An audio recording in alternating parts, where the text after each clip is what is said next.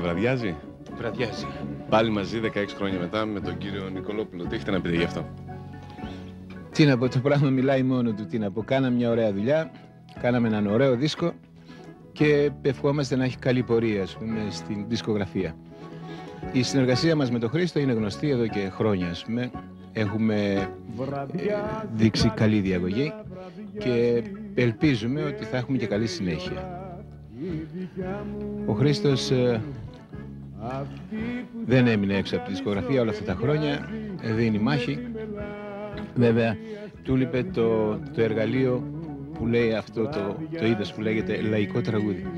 Τώρα που το βρήκε και εγώ βρήκα τον άνθρωπο που ξέρει και γράφει λαϊκά τραγούδια θα δώσουμε τουλάχιστον για αυτά τα χρόνια που μένουν για μένα, γιατί ο Χρήστος είναι πιτσιρίκος ακόμη, ό,τι έχουμε. Έτσι είναι ο Πεντής ακόμη. Είναι ο δίσκος που περίμενα χρόνια, ας πούμε, μετά από την μακρόχρονη αυτή σιωπή. Ε, τα ξαναβρήκαμε με τον Χρήστο τον Νικολόπουλο και πιστεύω να έχουμε κι άλλη συνέχεια γιατί αξίζει να ασχοληθούμε πιο σοβαρά για το λαϊκό τραγούδι που έχει ξεχαστεί τελείως.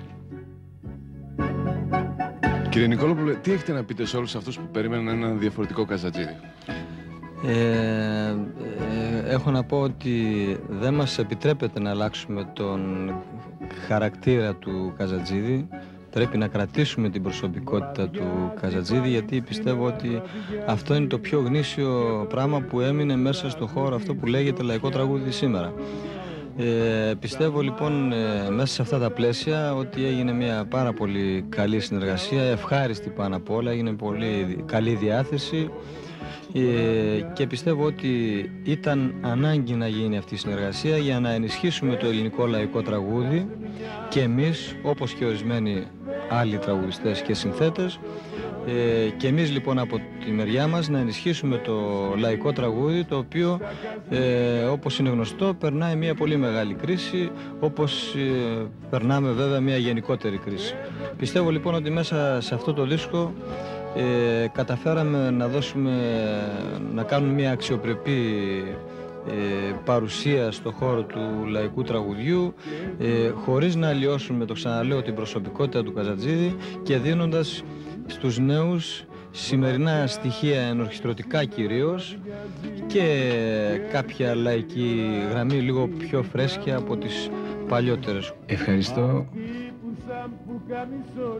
τον Ανδρέα τον Καϊάφα που μόλι του την αγάπη έδειξε πόσο αγαπάει το λαϊκό τραγούδι και όλα αυτά που είπε τα λέει κάθε μέρα δεν περίμενα να τα πει και στο μικρόφωνο. Ότι εγώ τον έφερα πίσω